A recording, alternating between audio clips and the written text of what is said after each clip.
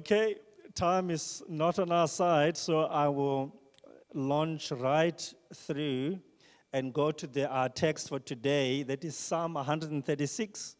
And we, in a sense, are continuing with our series of Anchored Through the Storm. And I've titled this message simply Thanksgiving. It's a Thanksgiving message, and I would like for us to give thanks to the Lord. And so, without much ado, let us read our text and then unpack it this morning. It reads as follows Psalm 136 Give thanks to the Lord, for he is good, and his steadfast love endures forever. And I'm going to ask you to, re- to repeat that with me, the second part with me. Give thanks to the God of gods. Give thanks to the Lord of lords. To him who alone does great wonders to him who, who by understanding made the heavens, to him who spread out the earth above the waters, to him who made the great lights, the sun to rule the day, the moon and stars to rule the night, to him who struck down the firstborn of Egypt and brought Israel out from among them with a strong hand and an outstretched arm. To him who divided the Red Sea in two and made Israel pass through the midst of it, but overthrew Pharaoh and his host in the Red Sea. To him who led the people through the wilderness to him who struck down the great kings and killed mighty kings, Sihon, king of the Amorites, and Og, king of Bashan, and gave their land as a heritage, a heritage to Israel, his servant. It is he who remembered us in our low estate and rescued us from our foes he who gives food to all flesh, give thanks to the God of heaven. And this is the word of God. And so we are going to unpack this text under three headings. Number one, we are going to look at the call to give thanks unto God. Secondly, we are going to look at the actions or how God wants to show forth his loving kindness to us and the actions that he does to do that. And thirdly, we are going to look at the restoring grace of Almighty God. But before we do that, let's just contextualize our message by looking at the occasion of this psalm and when it was written. It was probably written immediately after the people of Israel came back from exile. And it was composed especially for the very first service that they were going to have immediately after exile. You can imagine the atmosphere must have been electric at that time as the people of God are seeing the faithfulness of God who is bringing them out. And you will see that recorded for us in the book of Ezra, chapter 3, verse 11. And that refrain is given, just the one sentence Give thanks unto the Lord, in verse 11, for his steadfast love endures forever. And the leaders at that time was uh, Zerubbabel and Ezra, and later on it was Nehemiah, as they were setting and re-establishing worship for the first time in Israel, in Jerusalem, in worship to our God. And it seems to me that this particular statement is very, very significant in the nation of Israel. The first time that we see it recorded for us is in First Chronicles chapter 16. And the occasion there was David had gone and taken the Ark of the Covenant and brought it into Jerusalem. At that time, there was no temple, it wasn't built yet. And he brought it into the tent of meeting. And as he brought it there, he asked Asaph and other musicians to compose worship and psalms and praise to God. And we see this sentence at the very last sentence of the song that Asaph wrote. he says, Give thanks unto the Lord for his steadfast love endures forever. And that context is important because you'll remember that the Ark of the Covenant, and this word seems to be connected with the Ark of the Covenant. The Ark of the Covenant was taken after Israel was bitten by the Philistines. And after a while, because God judged them, they put the Ark of the Covenant in a, in a chariot and sent it to Israel. But it was, it was not in Jerusalem, and it stayed there for 20 years. And not long ago, we saw how, after 20 years, Samuel went and erected a memorial stone and called it Ebenezer, saying, Thus far, God has been with us. And then David tried to take the Ark of the Covenant, taking it to Jerusalem. He couldn't because somebody touched the Ark of the Covenant and died. And it was taken for three months to another guy. His name is Obed Edom. And when the covenant was there, God just blessed that guy's house. And after three years, three months, David heard that God is blessing Obed, Obed Edom because he, he's the, the Ark of the Covenant in his, in his home. And so that is why he went and took it to Jerusalem. The second time that we see this statement, and, and, and when that was sung, God came through. And the second time that we see that, that refrain, give thanks unto the Lord for his steadfast love endures forever, it's in Second Chronicles chapter 7. The occasion there was now the temple has been built through David's help, but it was built by Solomon. And when Solomon was consecrating the temple, bringing the Ark of the Covenant inside, and they were worshiping the Lord together, bringing the, the, the burnt offerings. The fire of God broke and consumed this offering, and the glory cloud of God covered the entire temple. And so the priests were not able to worship because the thick presence of God was in that place.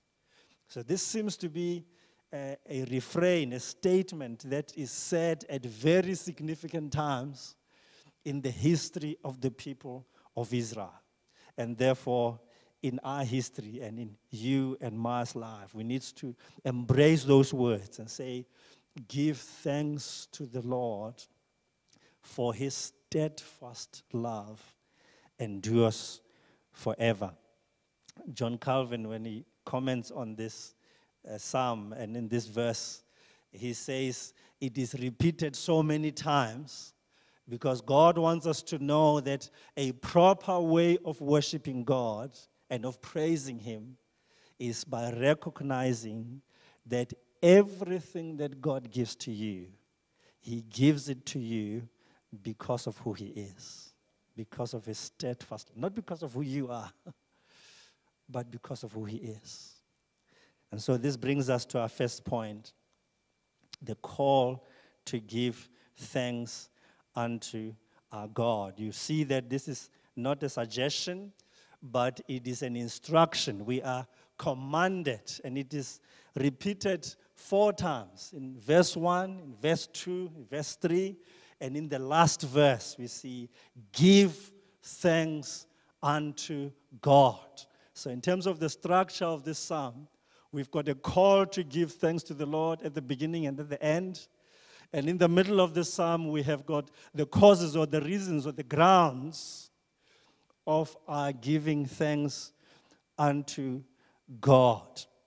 What does this word give thanks mean? A gentleman by the name of Derek Kidner says the following about it, the Hebrew word that we get the word give thanks from. He says it means to confess or acknowledge and thus calls to thoughtful worship, spelling out what we know or found of God's glory and God's deeds. You realize when you look at this definition that the, to properly give thanks unto God, two things needs to happen. Your head needs to be involved.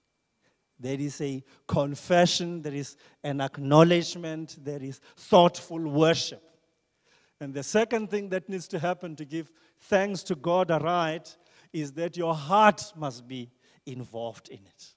You are not just reciting from your head what God has done, but there is a sense in which your heart is affected by what it is that you are saying unto God. You know something of His glory, you know something of His deeds, and it affects your heart, therefore, spilling out in praise and worship unto Him. G.K. Chesterton says the following He says, Thanks are the highest form of thought. So again, we see the thought is involved. It is the highest form of thought, and gratitude is happiness doubled by wonder. So there is thinking and there is admiration and wonder and gratitude at the depths of our hearts. And when you bring the head and heart together in that way, then God is rightly worshipped. God is not interested in us just praising Him with our lips and our hearts being far removed. God doesn't just want us to know Him with our heads and not love Him with our hearts. God doesn't just want us to have theology without what theologians call doxology.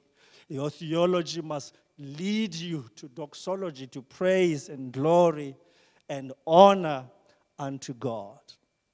But the interesting thing about the, the reasons that are given in this call to give thanks unto God is that it is this, this giving thanks to God is grounded on two things really on God on one thing.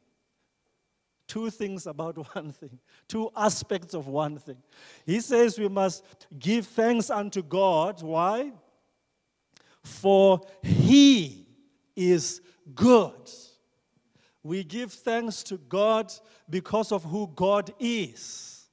We give thanks to God because of His uniqueness, His goodness to us. Before you look at what He has done for you, you look at God Himself and you say, God, you are good in yourself.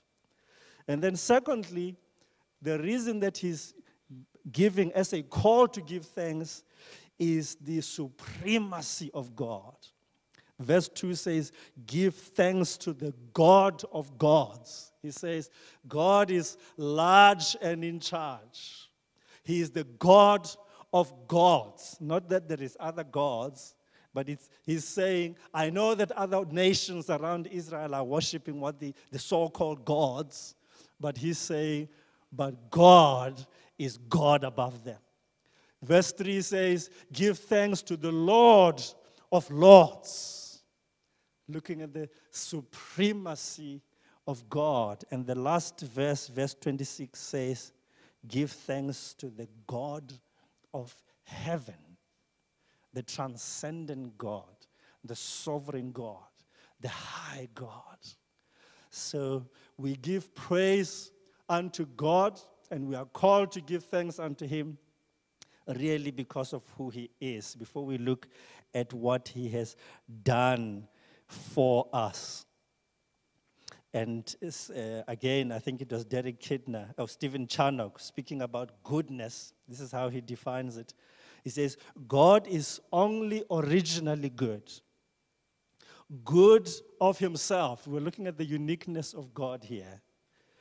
All created goodness is a rivulet, it's a tributary, it's a, it's a river that flows from this fountain of goodness, which is God Himself. But the divine goodness has no spring. In other words, God doesn't get His goodness from anything outside of Himself.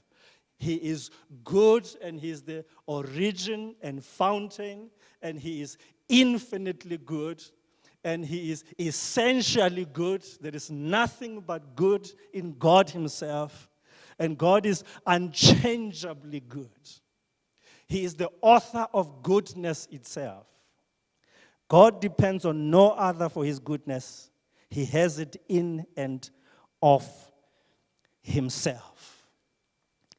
And if you were to ask Stephen Charnock, what then is goodness? He will say, it is God's inclination to deal well and bountifully with his creatures. You need to let that sink in your head and heart.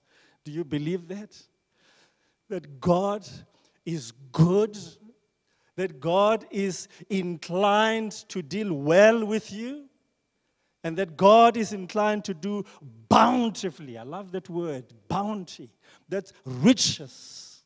God is inclined to be, ben, to be our benefactor. That is his very nature of God. We need to believe that. And he's saying it because the enemy wants to attack us and he wants to deceive us, especially because we tend to look and define God based on our circumstances. And so when we look at what happens to us, we say, Where are you, God? And we question God's goodness based on what is happening to us. And so the psalmist is saying, God is good.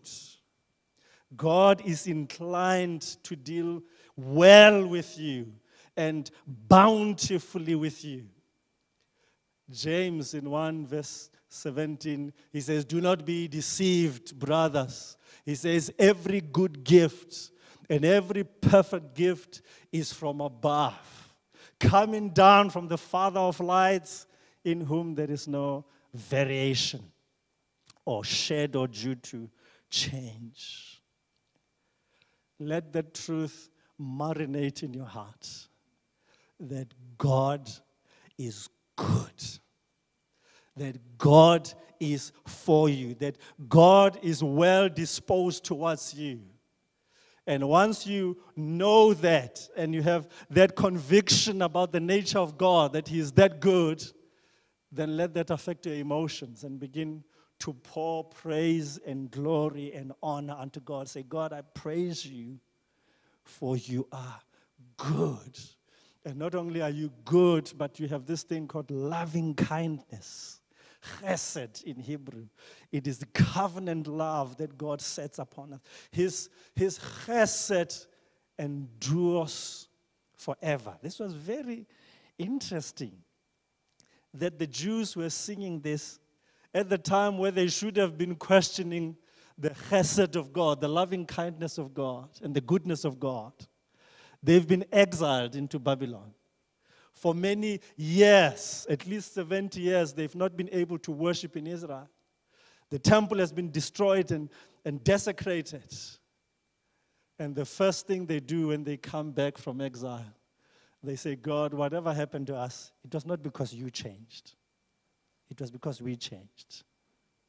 We give thanks unto you, for you are good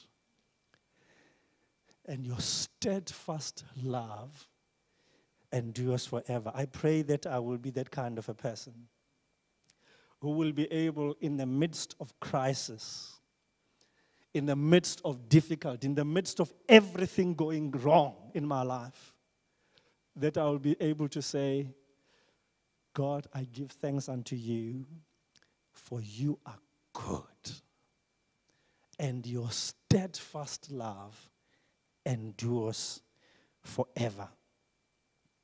And then we then come to our point number two. Let's look at how God reveals his loving kindness to his people.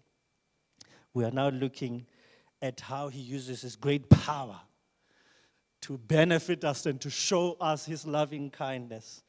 This psalm does it in three ways. Number one, it says God shows his loving kindness towards us in creation by displaying his power in creation. And I'll come back to unpack that. And we see that in verse 4 to verse 9. And then, secondly, God shows his love towards us by his power in redemption when he redeems us. Thirdly, God shows his loving kindness to us, towards us by the supremacy of his power in his providence towards us. We will just go very briefly over this. Did you see that verse 4 to verse 9? It's like a reconfiguration or recontextualization of the book of Genesis. He's talking really about creation. He says, God who made the heavens and the earth. Doesn't he say that? Verse 4 he who, who alone does great wonders. Uh, to him who by understanding made the heavens, and to him who spread out the earth above the waters, to him who made the great lights, the sun to rule over the day, and the moon and stars to rule over the night. He's looking at God displaying his great power, his supremacy by creating. And, and here's the great revelation. The Jews knew this. God created everything. But here's a new revelation. The new revelation is God did that to show you his loving kindness. In other words, when you wake up in the morning and you see the sun, you need to see it as God's love letter to you. He created those things to show forth His loving kindness towards you. When you feel the breeze washing over your face, as you are walking in, uh, at, the, at the sea, at the beach, you need to see it as God's love letter towards you. He did those things because His loving kindness endures forever. We need to stop complaining. I hear people, when it's hot, we are complaining. When it's cold, we're complaining. When it's windy, we're complaining. When it's cool, we are complaining. I could be at the beach now, now it's cool. I wish it was hot. we need to look at these things and say, God, you display your power in creation to show me your loving kindness towards me. But secondly, if this is great, this second point is even greater. He's telling us that God displays his loving kindness towards us through redemption. And redemption is a difficult one because there is a mixture of judgment. Uh, when, when somebody rescues you and, and delivers you, if they are really worth their soul, they are going to kill somebody. They're going to shoot somebody in order to rescue you. And this is what God did here we are told that he sorted out the firstborn in Egypt. The firstborn sons died in Egypt. When God was redeeming the people of Israel from their hands, God used his mighty hand and his outstretched arm in redeeming them in the 10 plagues that he visited against Egypt. God divided the sea. God destroyed Pharaoh's chariots, even as he was redeeming his people. And this is a picture for you and I as well. But here's the story. When God creates, the first point that we must give thanks to God for, for creation, it costs him absolutely nothing. He's all powerful. He just spoke it all into existence, didn't break a sweat. But when God redeems us, it costed him everything. He sent his very heart. He sent his son to die so that you would be rescued. It is almost as if God is saying, You and I are more valuable than his son because the son must die so that you might live. But that would be a wrong way of looking at it. Christ's death for us is not a testimony to our value, it is a testimony to the riches of God's love. God says, I'm paying an unlimited price to save somebody of limited value, to show forth his loving kindness towards us. And then, thirdly, God shows his loving kindness towards us through his providential care. You would see that he uh, kept the people of Israel in the wilderness and he provided them in the wilderness. And then he dealt with the guy called Sihon, the king of the Amorites. You'll see that story in the book of Numbers. That guy didn't need to die. Moses comes to him and says, Sihon, king of the Amorites, all I need to do is to pass safely. I'm asking for safe passage. I'm going to Canaan land. I'm not coming to your land. I'm going to Canaan. Give me a safe passage. And this guy says, Yeah. And, and he deceived him. And as Moses was going, he wanted to attack him. And God says, Okay, turn around and sought uh, Sihon. He was killed, and his land was taken because of his deception. And then King Og it's another king that we hear of in the book of Numbers. He was the last giant from the tribe of Goliath. a big man, strong man. God sorted him out. And God gave their land as an inheritance to the people of Israel to show forth his providential care for his people. And this is a testimony for you and I that God will, who has saved you by his mighty hand, he will keep you right to the end. God says the safe passage for you. Heaven is guaranteed to you. I will protect providentially your life. And I will deal with all your enemies until you rest and you get your heritage in me. But lastly, and I put this in the separate category because it's, I think it's important in the context of this psalm God's restoring grace. That's the last point. I started off by saying that the nation of Israel had been blessed because they had various kings, some of whom worshipped and served God. And as they served God, God blessed the nation. But they also had wicked kings who abandoned God and served other gods. And when they did, God abandoned them and gave them up uh, to be exiled and for the temple to be destroyed.